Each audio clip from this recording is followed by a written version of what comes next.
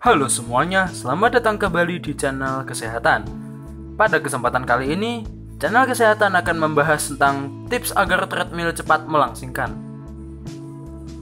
Tapi, sebelum masuk pembahasan, jangan lupa untuk like, komen, dan subscribe channel ini agar kami terus bersemangat untuk membuat video-video baru lainnya. Setuju kan? Pernahkah Anda merasa tidak segera kurus padahal telah melakukan berbagai olahraga dan pergi ke gym untuk latihan treadmill secara rutin? Jawabannya, mungkin karena olahraga yang Anda lakukan kurang tepat atau ada faktor-faktor lain yang membuat lemak di diri Anda tetap menimbun. Khusus bagi Anda yang menjalani treadmill baik di pusat kebugaran atau di rumah, ada baiknya mengevaluasi kembali upaya Anda untuk mengonsultasikannya kepada instruktur Bukan tidak mungkin usaha yang Anda lakukan selama ini sia-sia karena kesalahan dalam melakukan gerakan atau faktor lain. Padahal dengan gerakan yang tepat, pembakaran kalori tentu akan efektif dan dijamin tak akan ada lagi lemak yang menggelambir. Berikut adalah 5 panduan supaya treadmill Anda membuahkan hasil maksimal. Dengan memahaminya, diharapkan usaha dan kerja keras Anda menjadi optimal dan impian memiliki tubuh indah seperti model-model di sampul-sampul majalah kebugaran akan terwujud. 1. Jangan terjebak pada latihan yang sama. Orang sering kali terjatuh dalam jebakan treadmill selama 30 menit setiap kali mereka berolahraga. Pada mulanya hal itu berguna, tapi kemudian tubuh Anda menjadi terbiasa melakukan rutinitas itu dan kalori-kalori yang terbakar pun malah lebih sedikit.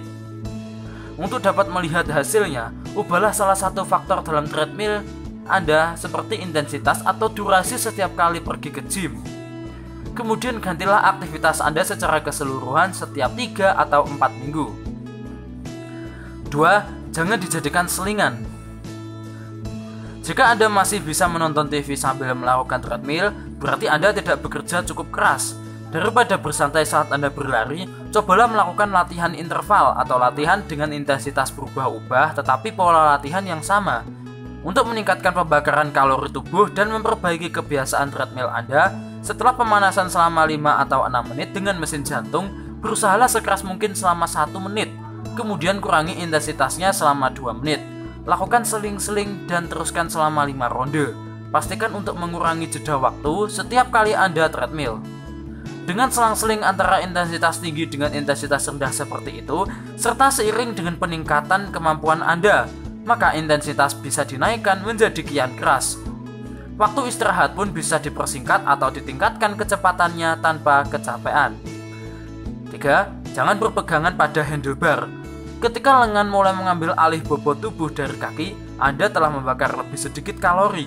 Jika Anda harus berpegangan atau bersandar, lakukan perlahan Menyemangati diri tanpa bantuan instruktur juga akan memberi hasil latihan yang lebih baik untuk Anda. 4. Gunakanlah derajat incline. Mengatur treadmill pada posisi mendaki atau incline dapat meningkatkan aktivitas kekuatan otot panggul dan paha bagian belakang, sehingga Anda akan membuat otot-otot tersebut semakin kuat dan membakar lemak lebih banyak kalori.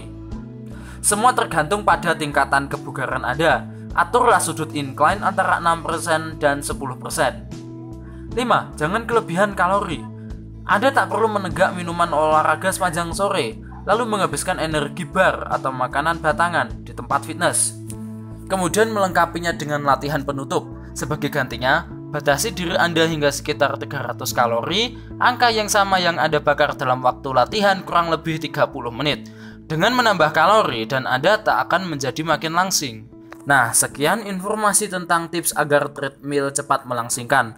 Semoga informasi ini bermanfaat dan menambah pengetahuan Anda and see you on the next video.